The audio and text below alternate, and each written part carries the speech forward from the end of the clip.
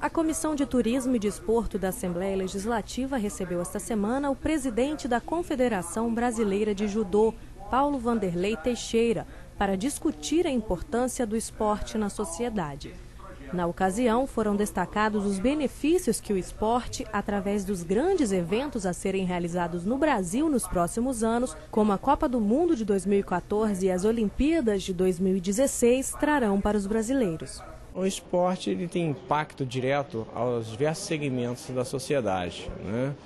Uh, na educação, né? na construção, porque as instalações dependem disso, na profissionalização das diversas áreas profissionais que atenderão, na área médica, na área de saúde, no turismo. Então, é um catalisador de oportunidades para qualquer Estado.